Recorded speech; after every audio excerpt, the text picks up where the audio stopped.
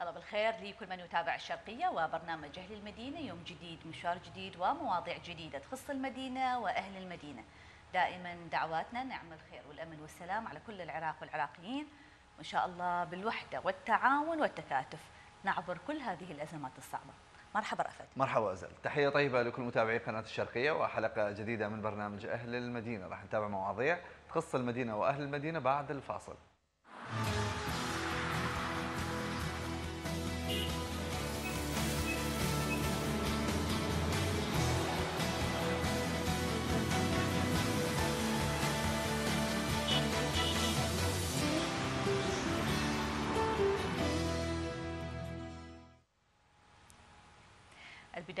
التذكير بطرق التواصل ويانا عن طريق التليجرام والرقم الظاهر أسفل الشاشة اللي يحب يتواصل ويانا من خلال هذا الرقم. رسالة مختصرة بها المعلومات الكاملة. إذا كان هناك مقطع فيديو أو صورة توضح المشكلة يا ريت يتم إرسالها حتى يتم عرضها ضمن فقرة عيون المدينة. فيسبوك وتويتر اللي يحب يتواصل ويانا من خلال هذين الموقعين. البث المباشر على صفحة الشرقية الوحيدة والرسمية واللي عنده تعليق مناشد مشكلة يتركها ضمن التعليقات. نقراها وقت بث الحلقة أو نرسلها لمراسلين لمتابعتها. شو راح يبدي من اليوم العالمي لعيد العمال. وهذا العيد أو هذا الاحتفالية أو هذه الذكرى اللي هي عالمية تمر على كل العالم بنكهات مختلفة. هناك بعض البلدان تحتفل وتعطي لهذا اليوم حقه وزيادة. وقد أعطت طول السنة حق العامل الذي يعمل في هذا البلد. لكن بالعراق يمر هذا العيد بشكل مختلف.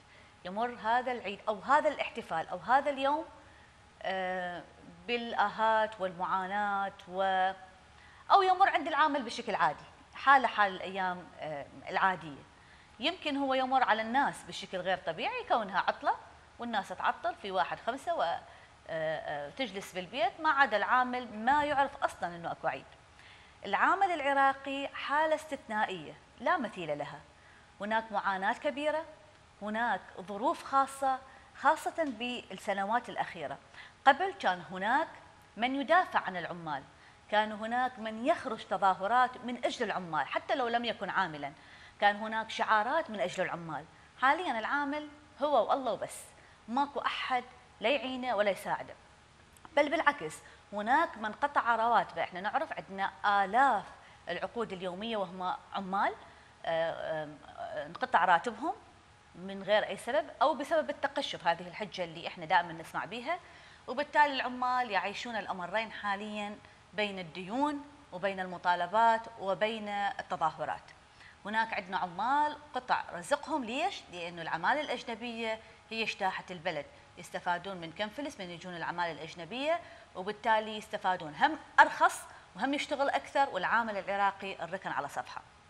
هناك أيضا مشكلة أو أو أو مشكلة كبيرة حقيقة ومصيبه كبيرة هي موضوع المعامل الموجودة بالعراق اللي المفروض هي تكون تلم أيدي عاملة كثيرة كلها أو أغلبها لا تعمل وبالتالي إحنا عندنا العمال الكثيرين قد سرحوا من العمل بدون راتب. أما العاملة العراقية فما نحكي معاناتها كبيرة هي إضافة لعملها في المنزل لازم تطلع تشتغل وأيضا فرصها قليلة ورواتبها قليلة ومضطهدة وإحنا يمكن في أهل المدينة ما خصصنا اليوم للاحتفال بعيد بعيد العمال لأن إحنا على طول السنة يوميا إحنا نحكي عن العمال. يوميا عندنا تقرير أو تظاهرة أو مناشدة أو مشكلة تخص العمال. ولذلك إحنا دائما مع العامل العراقي لكن اليوم كونها يوم عالمي احتفالية عالمية نستذكر هذا اليوم. عسى ولعل مو إحنا نستذكره إحنا نرسل رسالة للجهات المعنية ونقول لهم أكو عامل عراقي مضطهد يعيش ظروف قاسية على الأقل المفروض إن تكون الشعارات الجديدة أو البرامج الجديدة للانتخابات يكون بها جزء لا يستهان للعامل العراقي. إحنا اليوم تجولنا صباحا في بغداد بالأماكن اللي يتواجد بها العمال اللي هم مثل ما كنا متأكدين إنهم أصلا ما يعرفون عطلة واصلا هم مستحيل يطلعون لأن إذا ما يطلع ويروح يشتغل معناتها ما يأكل وما يشرب. نشوف العمال العراقيين شنو مناشداتهم أو إحنا نطلع يعني واحد يقول يأخذ نبذة مختصرة عن حال ووضع العامل العراقي الموجود في العراق بس عسى ولعل نقول القادم أفضل ونقول لهم كل عام وأنتم بألف خير.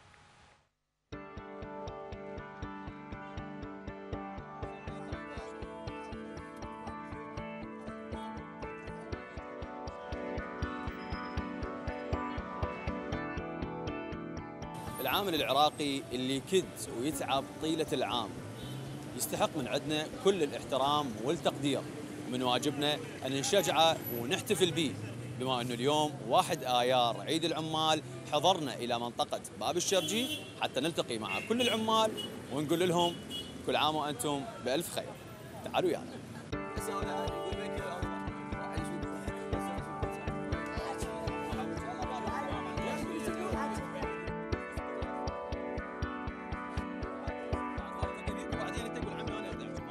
السلام عليكم.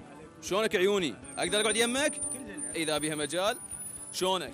والله شلون صحتك أول شيء. اليوم واحد ايار والله- عيد العمال. والله- نقول لكم كل عام وأنتم بخير. والله وأنت من أهل الخير. نعم. وإحنا بالنسبة لنا صحيح عمال بس إحنا بالبلد العراقي ما لنا قيمة. ليش؟ أنا أقول لك ليش ما لنا قيمة. أول مرة شالوا كل النقابات العمالية. مثل أنت يصير عمرك مثلا 27 سنة أربع العفو تخدم 27 سنة بالعمل عمرك 50 60 نعم. أنت 60 تعجز. صح. راح توقع. أنت لازم لك شريحة اجتماعية اللي تحضنك. بالبلد هذا ماكو. أكيد طبعا. وأنتم تعرفون أكثر شيء. أول مرة أنا أقدم تحياتي لكل القنوات العراقية. نعم. وكل قناة هي تشرفنا وتش- وتعرف معاناتنا وأخبارنا. نعم. أنا بالنسبة لي رجال من أهل الناصرية محافظتي ما بيها شغل. ما مشغلتني ليش أجي لي؟ أنا مو هينه علي يعني اريد أقول لك شغلة. فراق عيالي. مو اليوم عيد العمال. بلي. مو لازم أنتم تقعدون بالبيت هو إحنا لابسين. إحنا إحنا بأيام الخير ما لابسين لبسه زينة. ما عندنا نشتري. شو عجب طاني ليش؟ أنا 16 يوم هنا أنا قاعد منين أوكل؟ هسه خلف الله على هاي. وحدة تبيع باذنجان سلمت عليها قلت لها عم اعطيني لفه باذنجان ببلاش لما اشتغل باذنجانه إي والله. وهي تصير هي غدا هي عشاء. زين لا أنا قاعد في فندق هاي أبي معاناتي صعبة وعندي تسعة نفرات.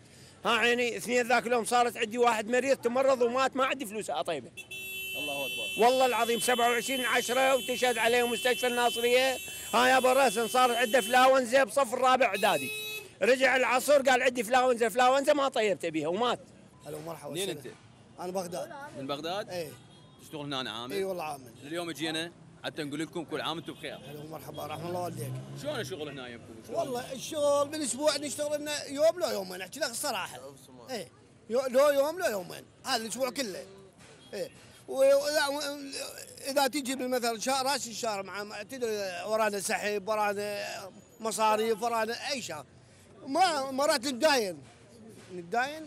نوع نوع. بالأسبوع يوم لو يومين. إيه. شلون تكفيكم؟ ما تك... والله ما تكفي.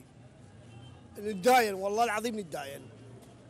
بس إيش إيش قص صار له؟ من شكيت الحكومة مال العبادي ها صار تقشف تدري التقشف بس بس على على الشعب. بس على الشعب. ال- رواتبهم كلها ماشية الموظف ماشي راتبه. شريحة العمال ولا يوم ما حد يجي يسأل علينا. زين إحنا اليوم بما إنه اليوم واحد آيار عيد العمال من اجينا الباب الشرجي من اجينا انه قلنا راح نشوف ما راح نشوف عمال يعني يوم عيدهم راح يقعدون بالبيت عجب طالعين يا- العمال الكسبة ها هسه إحنا ماكو الكسبة. ألف دينار ما بجيبه احكي لك الصراحه ألف دينار ما بجيبه. هسه عيد الموظف الموظفين كان الموظف يشتغل ويا العامل كان يشتغلون ويانا. راتبه أل- ألف ونص لو 2000 دينار يشتغل ويانا. هسه الموظف راتبه 3 ملايين. مرات يفوتون منا يضحكون علينا. أه أه أه. بعدكم عمال؟ أي والله العظيم وراتبه 3 ملايين. هسه عيد الموظف. يعني قصدك ذولا تعينوا من ضمن واسطات وإلى إي آخره؟ واسطات واسطات. واسطات. هسه أقل أقل أبسط شيء الرعاية الرعاية. هم كانوا هنا عمال إي وياكم عمال والله. تعينوا من ضمن إي إي الواسطات؟ إي واسطات. إيش أنا واسطات. إذا ما؟ عندك واسطة ما, ما تتعين.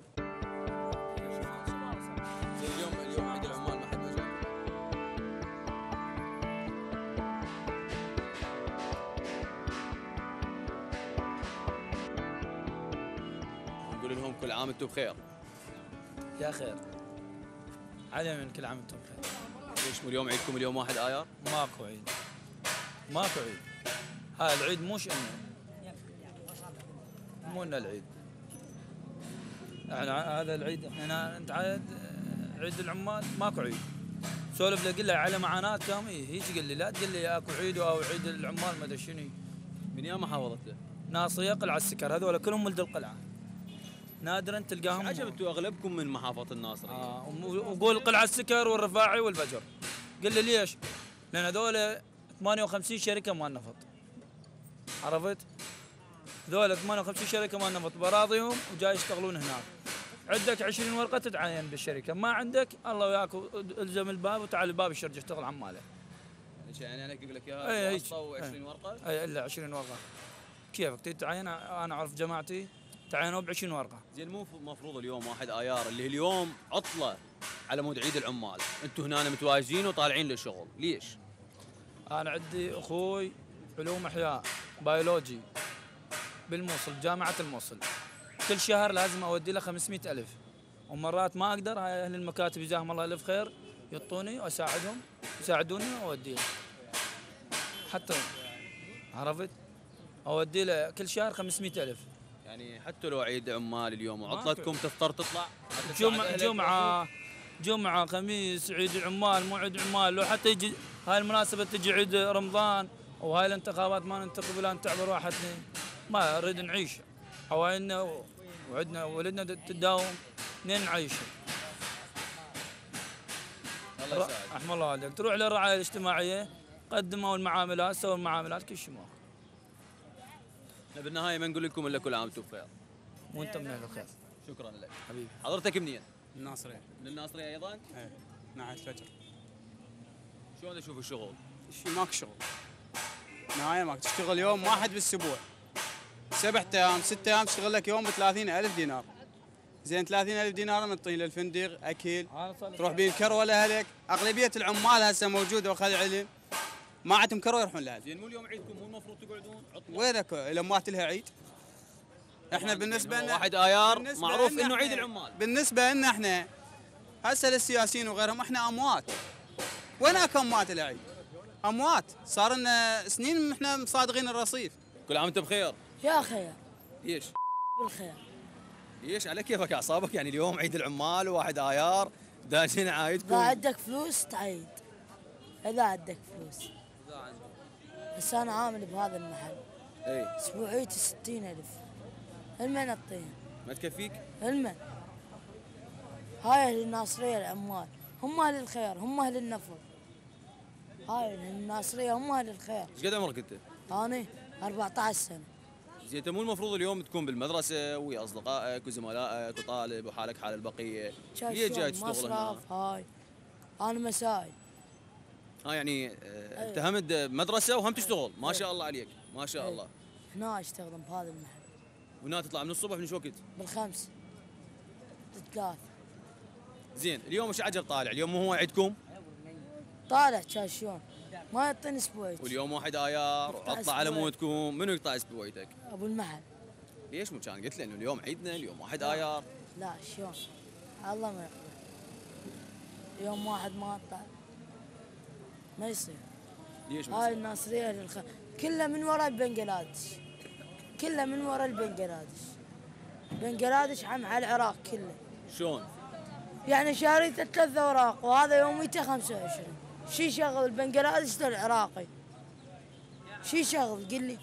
شغل بنجلاديش للعراقي زين والعراقي وين من استوديوهاتك يقول لك صار سبع أيام ثمان أيام ما اشتغل. هي هساني صار شهر ما مشتغل. هاي هنا عود أحصل له عشرة ماكو راحت له عشرة على الأسبوعية ستين ألف. يعني بعد على الأسبوع ظليتوا هذا بس على الأسبوعية ستين ألف. وين تكفي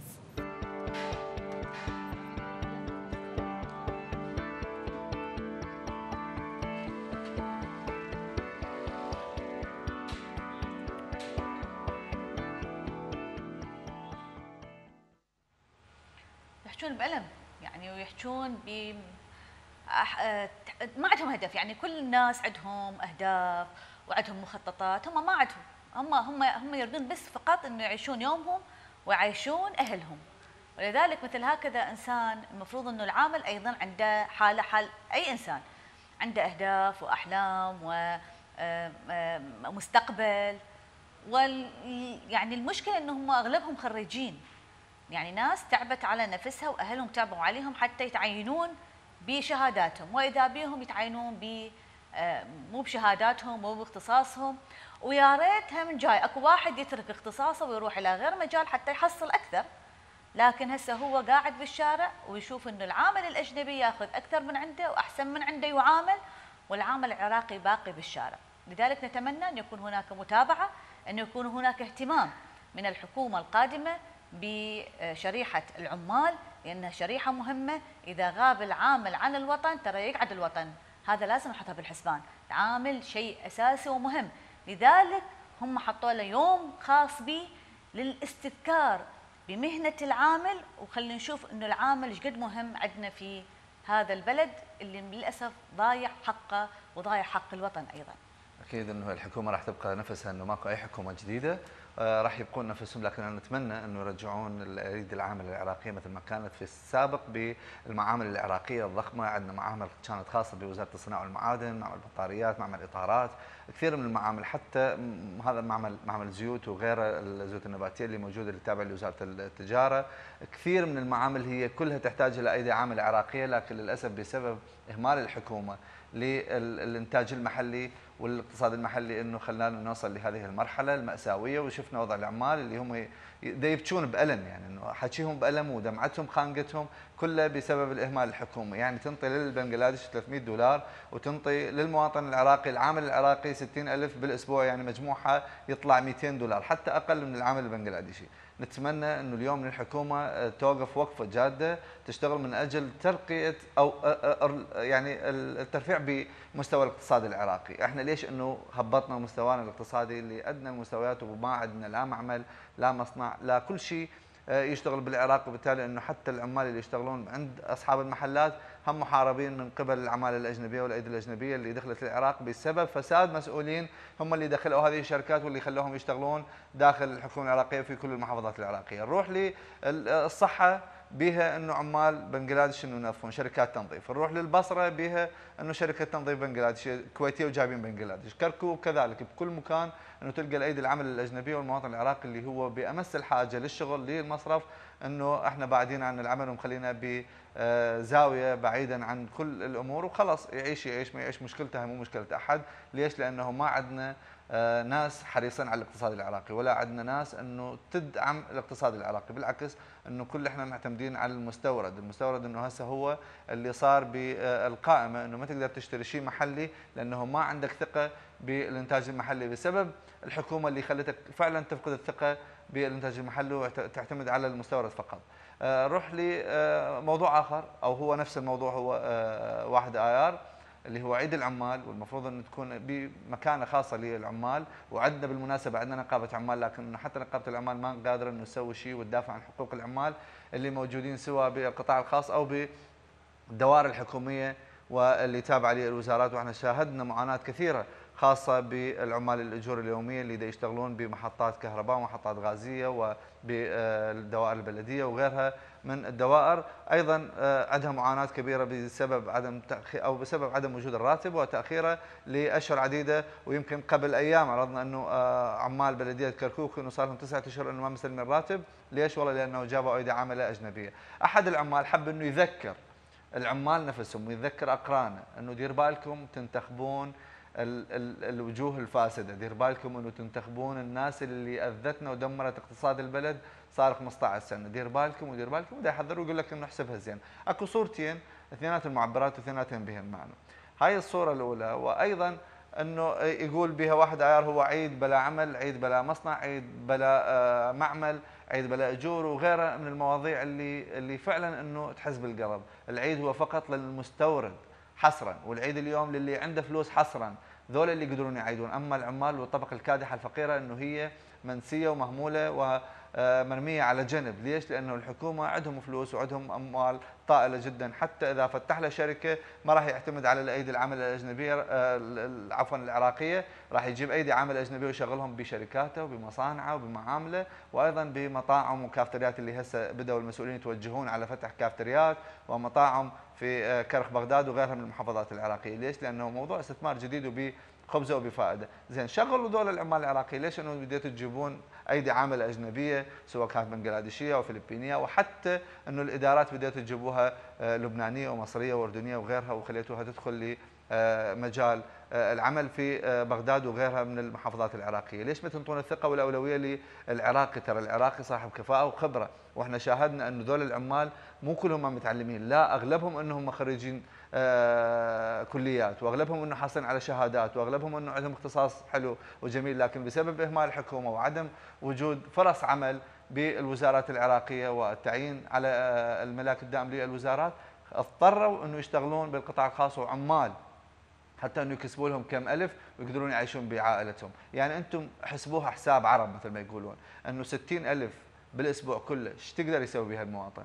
يقدر يطلع منها إجور المولد يقدر يطلع منها إجور آه، أبو البيت اللي هو الإيجار يقدر إنه يروح مسواق يقدر إنه يروح طبيب يقدر إنه يروح فاتحة يقدر يروح عرس. وإحنا معروفين إنه العراقيين أصحاب واجب دائما إنه وخاصة في بغداد إنه عرس لازم تروح تأدي واجب فاتحة لازم تروح تأدي واجب مريض لازم تروح تأدي واجب. هاي كلها الحكومة ما حاسبتهم مخلين المواطن العراقي والعامل الفقير وحدة عايش بالهواء طلق. نتمنى إنه فعلا اليوم يكون عندنا ناس حريصين على آه، الطبقة الكادحة، حريصين على روح المواطن العراقي وحريصين على الاقتصاد العراقي وعودته من جديد مثل ما كان في السنوات السابقة، كنا بايام حصار لكن إحنا معتمدين على المنتج المحلي، على الاقتصاد المحلي، معامل تشتغل والأيدي العاملة إنه كلها موجودة وكلها عراقية ما بها اي اجنبيه، ليش هسه إنه بسبب التطور يمكن والانفتاح الزايد بديتوا تجيبون لنا ايدي عمل اجنبيه وبالتالي إنه لغيتوا كل المعامل أو بعتوها للدول المجاورة حتى انه هم يكونون آه، المستفيدين الأكثر والأقوى بين آه، المستثمرين. بدأوا يدخلون لنا بطاريات إيرانية.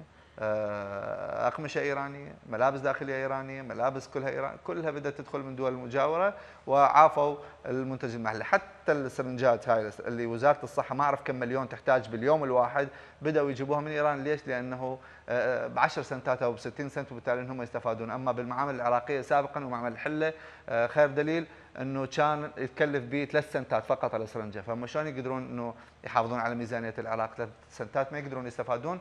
ولا يقدرون يبوقون من عندها لكن يقدرون يبوقون من 50 سنت وفوق. فنتمنى انه كل هذه العقود والصفقات المشبوهة واللي كلها فساد تبتعد وترجع للمعامل العراقية وننطي فائدة أكثر للمعامل العراقية وحتى المصانع الخاصة بالأدوية واللي هي تابعة لوزارة الصناعة والمعادن يا ريت أنه ترجع تشتغل ونشوف موظفيها بأحسن حال والأيدي العاملة العراقية تكون مثل ما كانت في السنوات السابقة. كافي إهمال وكافي دمار لأنه دمرتوا العراق بكل طبقاته بكل فئاته وبكل آه، مستوياته. نتمنى أنه الحكومة القادمة إذا كانت فعلا حكومة جديدة قادمة عليها أنه تأخذ هاي الأمور كلها بنظر الاعتبار.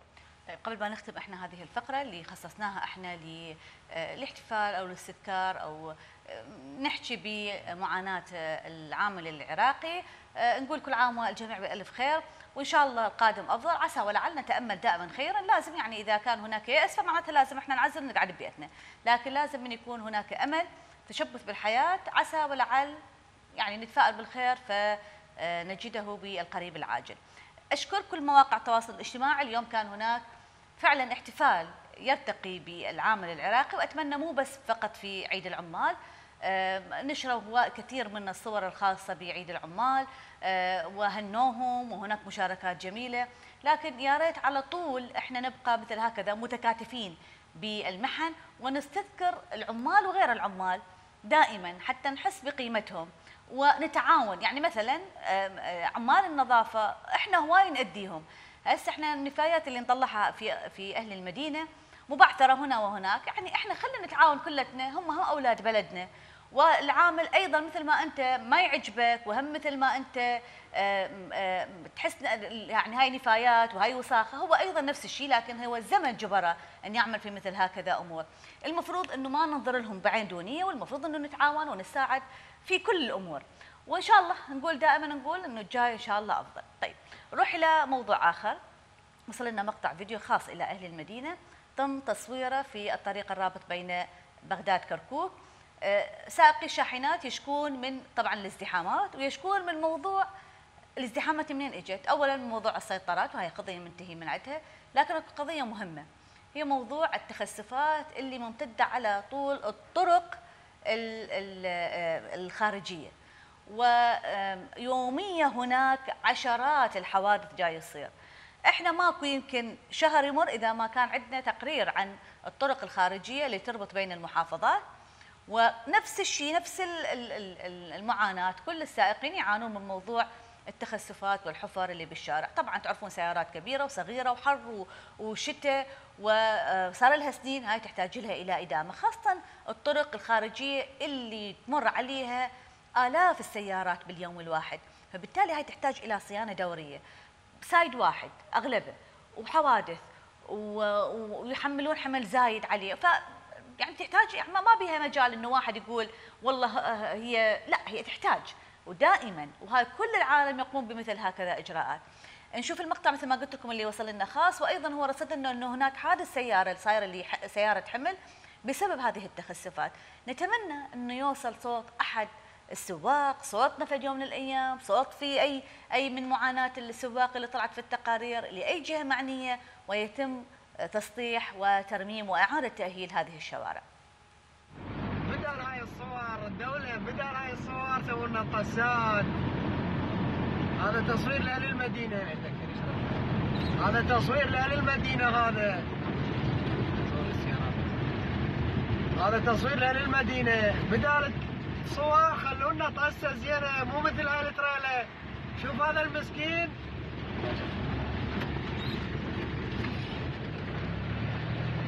هذا المسكين.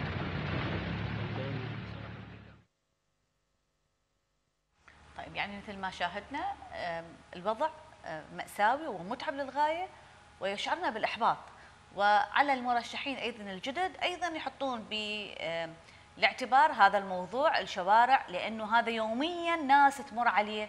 وإحنا اللي يروح عن طريق البر لحد ما يوصل إحنا القلق يقتلنا عليه لأنه الطريق هو طرق الموت مسمينها مو طريق واحد. إحنا عندنا آلاف الطرق اللي هي مسماة بطريق الموت. من الممكن إنه أي باي لحظة إحنا نفقد عشرات الأشخاص في لحظة واحدة بسبب تخسفات الطريق بسبب مشاكل الطريق ولأنه side واحد ولأنه هناك سيارات الحمل تزاحم سيارات الصغيرة. كل هذه تحتاج إلى ترتيب وإعادة تنظيم وتصليح للشارع. عسى ولعل إنه في يوم من الأيام هناك من يستجيب لكل هذه المناشدات. بس لأن المسؤول ما محتاج لهذه الطرق هو يروح بطيارة أو يجي بطيارة أو خاصه وعادي فالموضوع ما يهمه وأهله نفس الشيء لكن لو يهمه كان سواه. فنتمنى إنه الجهات المعنية شوي تلتفت لهذا الوطن. الشوارع العامة مهمة الطرق الرئيسية اللي تربط بين المحافظات مهمة يوميا تمر عليها آلاف السيارات المحملة بالبضائع المواد الغذائية والناس والمسافرين. فبالتالي من الضروريات ومن الواجبات أن تقومون باصلاحها وإدامته بين فترة وأخرى يعني أكيد موضوع الشوارع يوم امس كنا نتحدث به بشكل موسع من خلال تقرير المصور لكن للأسف أنه كنا نتمنى انه احدى الجهات المعنية إنه تطلع وتحكي وتقول نعم أنه إحنا راح نستجيب وراح إنه الأيام القادمة راح نبدي آه، نعمل بالشوارع كلها بأسرع وقت ممكن لكن للأسف إنه الإهمال هو نفسه. نروح لموضوع آخر راح نروح هالمرة لصلاح الدين بالتحديد منطقة البعيسة قلعة العظيم. هاي القلعة وهذه القرية أو المنطقة اللي, اللي اسمها البعيسة تعاني من مسألة الكهرباء. الكهرباء ما بيها وإذا بيها فالمحاولات أنه قديمة جدا وما بيها أي خدمة صيانة من قبل الدوائر المعنية في صلاح الدين. كل مرة تحترق المحولة يروحون للدوائر المعنية يشكون ويناشدون ويقدمون طلب بتزويدهم بمحولة يقولوا لهم ما عندنا أنتم روحوا اشتروا. ومضطرين الأهالي يجمعون من كل بيت 200 ألف دينار حتى يشترون مولدة واللي هي سعرها أو محولة عفوا سعرها 40 ورقة. يعني هاي ال 40 ورقة ليش ما أنه الحكومة تكون متكفلة بيها وليش أنه ما هي تشتري المحولة وتجيبها وتشد لهم إياها؟ الصور ده نشوفها أكثر من محولتين وأكثر من ثلاث محولات إنه هم بدلوها الاهالي لكن إنه وصلوا لمرحلة إنه خلاص بعد ما عندهم لا شغل ولا عمل ولا عندهم فلوس حتى رواتبهم اللي اللي بيه موظف راتبه بدا إنه ما يكفي بسبب الأوضاع الاقتصادية الصعبة اللي دا يعيشها. آه، الناس من يروحون يريدون يجمعون من كل بيت 200 ألف يقول لهم والله ما عندنا منين نجيب لكم روحوا بلكي إنه الحكومة تصلح يروحوا للحكومة الحكومة ما تصلح. إضافة إلى هذا إنه شفنا الأسلاك كلها هم رافعيها بخشب بعواميد خشب إنه الحكومة ما تجي تصلحها وكل هوية توقع الخشبة ويوقع السلك على الأرض وتبدأ تنتل دا يقولون حتى سياراتنا ما نقدر نفوتها المنطقة لأنه نخاف إنه باقل هوية تنزل الكيبل على السيارة أو السلك ينزل على السيارة ويبدأ ينتل كل المنطقة. وهواي مشاكل وحوادث صارت بهاي المنطقة لكن للأسف إنه لحد الآن محافظة صلاح الدين أو دائرة كهرباء صلاح الدين ما قدروا إنه يسوون شيء لهذه المنطقة الصغيرة اللي هي ما يحتاج لها غير بس محوله واعمدة حديد مثبتة بشكل جيد حتى إنه نتفادى كل هذه المشاكل اللي حدثت في الأيام الماضية، نتمنى هالمرة إنه المناشدة توصل.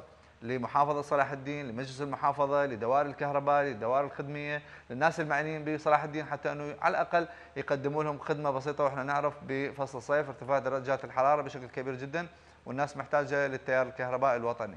لكن إنه حالها هاي المنطقة حالها حال بقية المناطق اللي موجودة بالعراق إنه كلها تعاني من عدم وجود التيار الكهربائي الوطني. فيا ريت إنه آه، نخلصها ونرجع الكهرباء وننقذ الاهالي من ال- الصعقات الكهربائية بأسرع وقت ممكن. واملنا إن شاء الله يكون كبير بحكومة صلاح الدين وإن شاء الله في حلقة يوم غد إنه راح يقولوا لنا يابا ترى إنه إحنا راح نطلع ونصلحها ونديمها ونجيب لهم محولة حتى إنه نفرح الأهالي اللي موجودين بمنطقة البعيسة.